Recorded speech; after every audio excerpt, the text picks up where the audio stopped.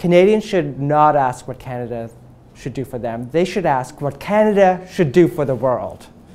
I think we are the place that is best positioned to be a vision generator for the world.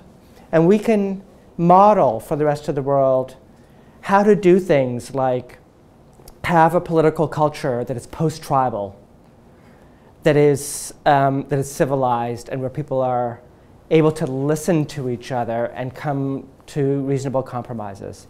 We could model how to um, have genuine reconciliation with indigenous peoples, which is not just our problem, it's the world's problem. We can, we can, we can model how to make sacrifices for the sake of the planet as we think about sustainability.